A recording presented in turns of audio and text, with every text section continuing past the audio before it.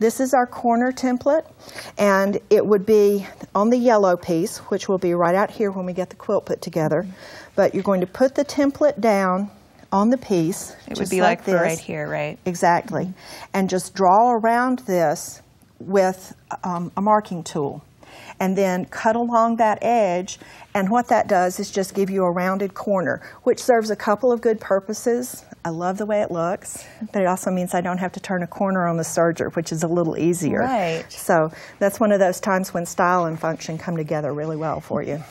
So we just do the two corners on this edge, the two corners on that edge. That's exactly right. and then we're ready for ruffling. Then we're ready for ruffling. Great. Okay, so the next thing that you need is your ruffle strips.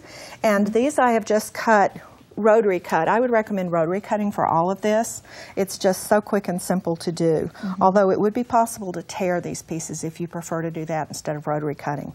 But what I've done for our ruffle is I have just cut pieces all the way across the fabric so we still have the selvages on the end. Okay. And we're going to make just the most basic ruffle out of this. So we put two pieces with their right sides together. And I suppose you could make your ruffle as wide as you like. Yes,